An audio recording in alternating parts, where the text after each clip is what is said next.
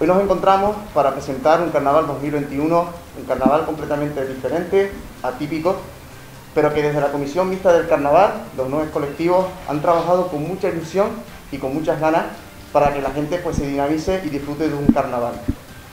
Vamos a comenzar a partir de hoy lo que es la elaboración de una página web www.carnavaldelarotava.com donde va a estar alojado todo lo que se va a realizar las próximas semanas y sobre todo, eh, a partir de mañana, día 30, vamos a empezar unos diferentes concursos de disfraces en tres categorías, eh, tres categorías infantiles por edad, y otra categoría, son cuatro categorías eh, para los que son las familias.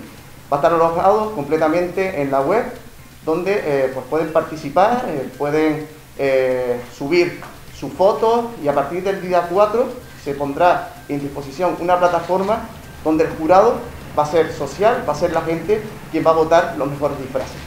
Eh, en el cartel del carnaval he querido reflejar el sentimiento de todo carnavalero, el colorido, la energía, las ganas de, salir, de disfrazarse que todo carnavalero eh, lleva dentro. Eh, todo parte de un baúl, un baúl que cada año por esta fecha estaríamos abriendo y sacando pues toda esa gama de colores y texturas que, que nos hacen revivir los, buenos ratos vividos en otros años en los carnavales. Este año hay que volverlo a abrir, aunque sea desde casa, eh, sacar esa peluca, sacar ese disfraz, volvernos a disfrazar. De ese baúl surge un, nuevo personaje, eh, en este caso un payaso, que lleno de alegría pues nos invita a, a vivir del carnaval y a disfrutarlo. Este año soy el representante de la Comisión Mixta del Carnaval 2021 Llevamos varios meses trabajando en diferentes colectivos para crear un programa de Carnaval 2021. Un trabajo inmenso recopilando historias y vivencias para dar a conocer lo que se realiza cada colectivo año tras año. En esta ocasión presentamos unas actividades diferentes acorde a las circunstancias sociosanitarias que estamos viviendo.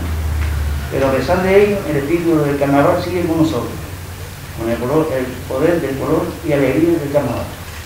En el momento en el cual estamos, los colectivos que en el carnaval hacen mucho esfuerzo, hayan renunciado a cualquier tipo de ayuda y subvención durante este año. Creo que eso habla de ellos muy bien y de ese aspecto solidario en los momentos en los cuales estamos.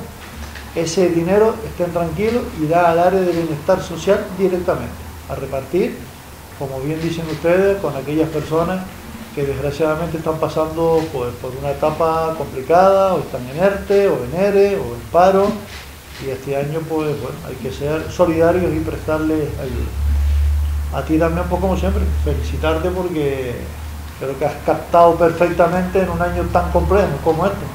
Coordinar carnaval y COVID, difícil, ¿eh? Porque el COVID significa tristeza, significa incertidumbre, significa duda, significa miedo, y el carnaval es precisamente lo contrario a eso. El carnaval es alegría, significa color, significa calle, significa abrazos, significa besos, significa pues, ilusión. Pero por supuesto que la COVID no va a poder con el espíritu carnavalero que tradicionalmente en nuestro municipio ha tenido siempre, desde hace mucho tiempo desde las fiestas de invierno que fueron hasta el año setenta y tanto, hasta el carnaval puro y duro que está haciendo durante estos últimos tiempos. Agradezco mucho el esfuerzo que el concejal ha hecho también en aunar esfuerzos. No es fácil, porque en los momentos estos muchos colectivos pues, les cuesta articularse. Dificultades para los ensayos, dificultades para verse, dificultades para poder hablar, prácticamente ha sido por vía electrónica casi todo. Agradecer la participación a los colectivos del carnaval, a los verdaderos colectivos del carnaval.